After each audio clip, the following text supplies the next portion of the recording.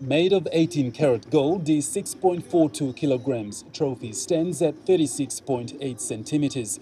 It was made by Stabilimento Artistico Bertoni Company in Italy and depicts two human figures holding up the earth. The in-demand price was introduced in 1971 worth US 50,000. Now the trophy is estimated to be worth US $10 million. The trophy is on its fourth global tour and will visit 24 new countries, including Papua New Guinea, which is eight on the list.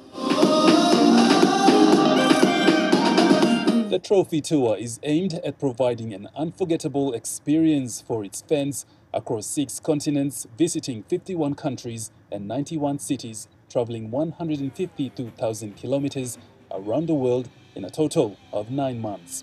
FIFA and Coca-Cola took a determined first step on a remarkable journey, taking the original FIFA World Cup trophy around the world in the build-up to the 2006 FIFA World Cup Germany.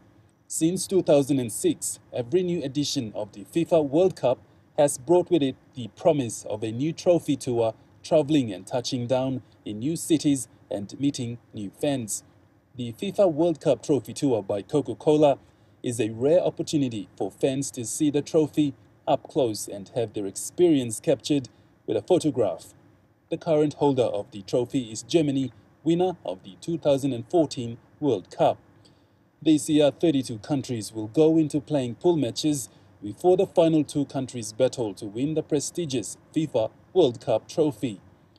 The FIFA World Cup trophy tour continues to Pakistan. Godwin Eki, National, EMTV Sports.